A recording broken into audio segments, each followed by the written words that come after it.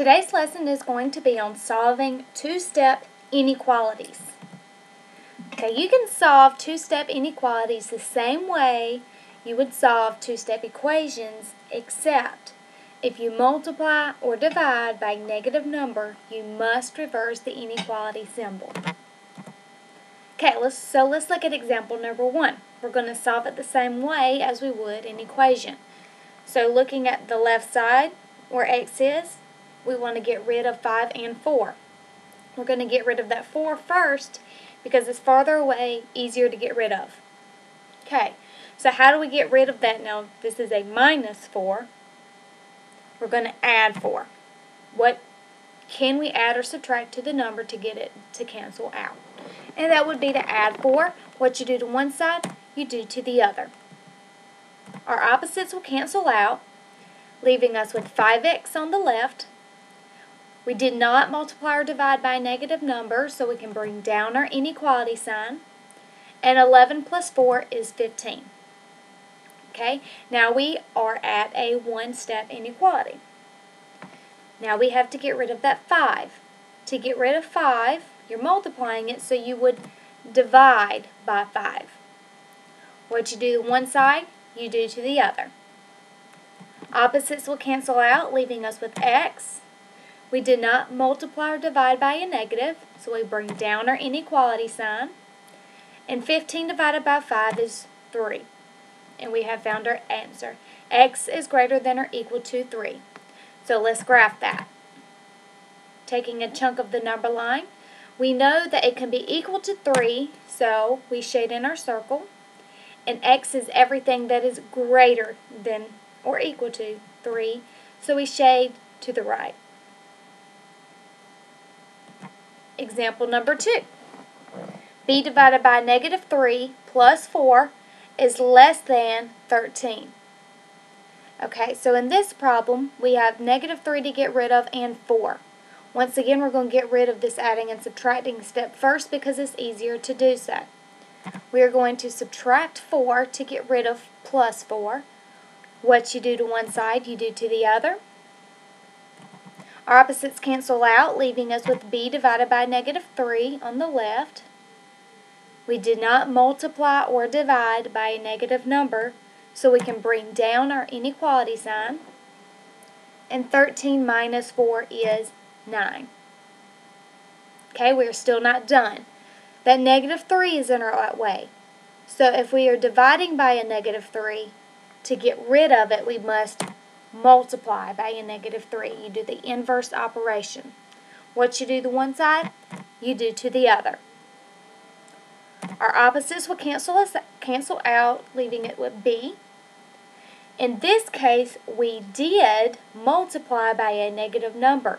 So our inequality symbol is going to be flipped and 9 times a negative 3 is a negative 27. And that is our answer.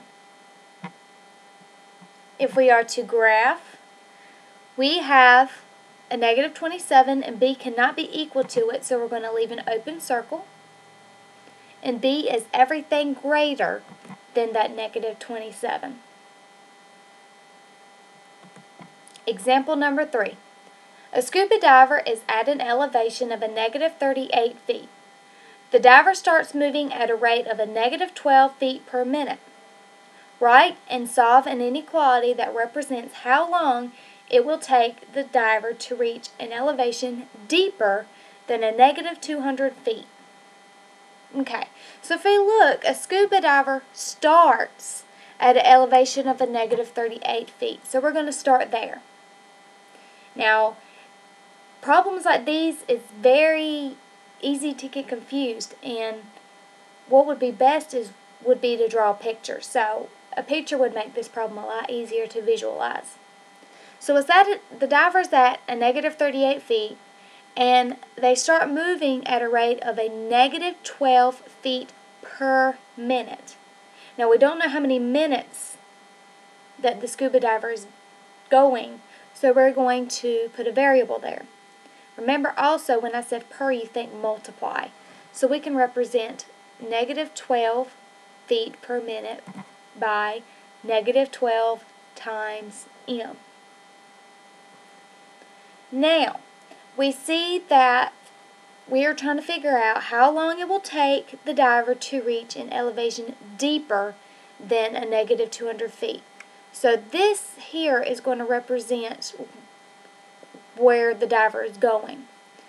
And if we want it to be deeper than a negative 200 feet, you want it to be less than 200. Remember, because you're going deeper and deeper, it's going to be smaller than a negative 200 feet. So we would represent that by less than a negative 200.